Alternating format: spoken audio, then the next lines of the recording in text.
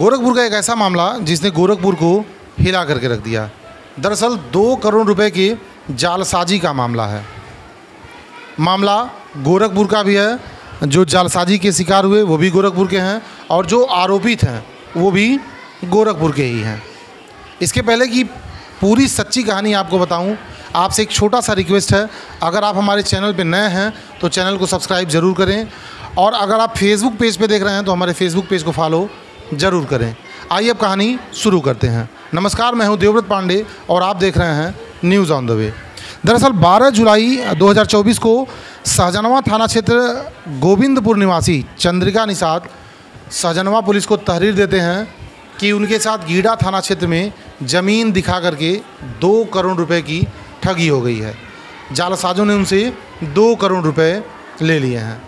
जब पुलिस मामले की जाँच करती है तो कहानी कुछ और ही निकल करके आती है। दरअसल गोविंदपुर निवासी चंद्रिका निषाद, ये 20 सालों से कलकत्ता में ठेके का काम करते हैं, ठेके पे मॉल बनवाते हैं, मकान बनवाते हैं। अच्छा व्यवसाय चलता है इनका। एक अच्छे व्यापारी हैं कलकत्ता के। अब बासगांव थाना क्षेत्र निवासी अमरजीत, जो इस मामले के मुख्य आरोपी हैं और इस मामले का सरगना भी बताया जा रहा है। ये रात रावत पार का निवासी है, बासगांव थाना क्षेत्र में रावत पार पड़ता है। ये चंद्रिका निषाद से पूर्व से ही परिचित था और इसे भली भांति मालूम था कि चंद्रिका निषाद कलकत्ता के एक बेहद बड़े व्यापारी हैं और उनके पास करोड़ों रुपए हैं। अब क्या था? अमरजीत अपने साथियों से मिल करके एक प्लान बनाता है और अपने साथियों को लेकर के कलकत्ता चंद्रिका निषाद के पास पहुँच जाता है। जब चंद्रिका निषाद के पास पहुँचता है तो उन्हें बताता है कि उसके पास ढेर सारी नकली नोट की करेंसी है और अगर आप दो करोड़ रुपए दें तो आपको मैं आठ करोड़ रुपए का नकली करेंसी दूँगा। और नोट ऐसे हैं जिसे आप चलाएँगे, कोई समस्या नहीं होगी। अब चंद्रिका निषाद को फंसाने के लिए जालसाजों ने पाँच लाख रुपए उन्हें एडवांस दे दिए। नोट तो असली थी, लेकिन चंद्रिका निषाद को बताया गया कि ये नोटें नकली हैं। और उन नोटों को बकायदा बेटाडीन से धुला गया था, साफ़ किया गया था ताकि नोट एकदम चमकदार हो जाएँ और देखने में ऐसा लगे कि अभी अभी इनकी छपाई होकर के आई है। पाँच लाख रुपए चंद्रिका निषाद को जालसाज दे देते हैं एडवांस के रूप में कि आप पहले ये पाँच लाख चला लीजिए। अगर आपको कोई परेशानी नहीं होती है तो आप दो करोड़ दीजिएगा, हम आपको आठ करोड़ रुपए की नकली नोट देंगे। अब चंद्रिका निषाद नोटों को जाते हैं मार्केट में चलाते हैं। पाँच लाख रुपए चलाने में उन्हें किसी तरह की कोई दिक्कत नहीं होती है, जिससे उनको पूरा विश्वास हो जाता है कि नकली नोट एकदम हूबहू असली जैसे है, कोई पकड़ नहीं पा रहा है तो दो करोड़ देने में कोई नुकसान नहीं है। बहरहाल चंद्रिका निषाद ने तत्काल जालसाजों को पचास लाख रुपये दे दिए। कि आप पचास लाख रुपए ले लीजिए, डेढ़ करोड़ रुपए मैं आपको बाद में दे दूँगा। जालसाजों को पचास लाख रुपए मिल गए।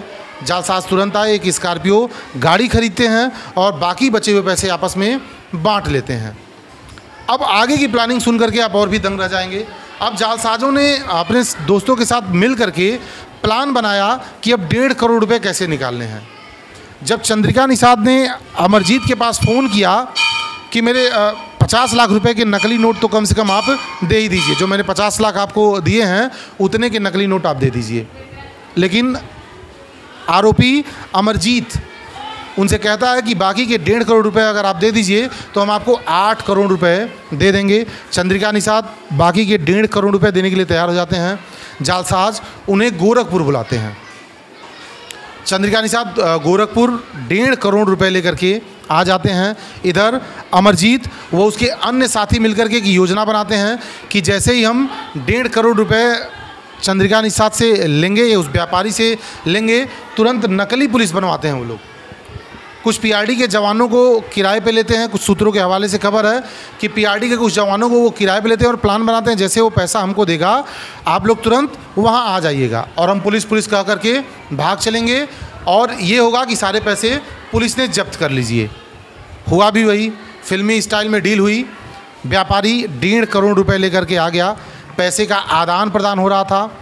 इधर आरोपी अमरजीत चौहान अपने साथियों के साथ एक बड़े से बैग में रुपयों के जगह पार्ले बिस्किट भर करके लेके आया था। ताकि जब बैग व्यापारी उठाए तो उसको लगे इस पर रुपये भरे हुए हैं। उसने उस बैग में पार्ले जी बिस्किट भर भर दिया था। अब इधर बैग का आदान प्रदान हो रहा था, तब तक वहाँ पुलिस आ गई। नकली पुलिस जो प्लानिंग में शामिल था। पुलिस जैसे ही वहाँ पहुँचती है पुलिस पुलिस कह के ये लोग बैग छोड़ करके फरार हो जाते हैं। व्यापारी वहाँ से भाग जाता है और पैसा ये लोग ले लेते हैं। उधर व्यापारी को पता था कि पैसे पुलिस ने जब्त कर लिए हैं। लेकिन डरते डरते वो सूचना तो नहीं देना चाहता था डरते डरते किसी तरह हिम्मत जुटा करके 12 जुलाई को वो सजनवा थाने पहुँचता है और एक तहरीर देता है जिसमें वो लिखता है कि गीडा थाना क्षेत्र में मुझे ज़मीन दिखा करके मेरे दो करोड़ रुपए हड़प लिए हैं। अब पुलिस जब इस पर कार्रवाई करती है तो मामला सारा खुल करके सामने आ जाता है। पुलिस ने सात लोगों को गिरफ़्तार कर लिया है, बाकी आठ आरोपियों की भी तलाश जारी है। पुलिस के इस त्वरित एक्शन से एक बड़ा जालसाजी का मामला खुल गया। हाँ एक एक बात और भी बता दें, इस मामले को लेकर के बेलीपार थाना क्षेत्र में इससे भीटी हो गया बरई पार हो गया, कतरारी के कुछ हिस्से हो गए, जहाँ ये शोर था कि छः किलो सोना मुंबई से चोरी होकर के आया है और उसी के अंतर्गत पुलिस लोगों को गिरफ़्तार कर ले। ये अफवाह बहुत तेज़ी से फैला हुआ था। मैंने भी इस पर काफ़ी तहकीकात किया, जिस पे पता चला ये मामला पूरी तरह से फर्जी था। ये लूट के, ये धोखाधड़ी के मामले को ही सोने का रूप दिया जा रहा था। चूँकि ये अमरजीत चौहान का का रिलेटिव भीटी में भी रहता है, जहाँ से भी सुनने में आया कि वहाँ भी एक पुलिस पुलिस महिला पुलिस वहाँ आई थी तो इसलिए ये अफवाह क्रिएट हो गया था। तो पुलिस के त्वरित एक्शन से एक बड़ा मामला खुला। खबर आपको अच्छी लगी हो तो एक बार और रिक्वेस्ट है, हमारे चैनल को सब्सक्राइब ज़रूर करें। और ऐसी और भी खबरें देखने के लिए देखते रहिए न्यूज़ ऑन द वे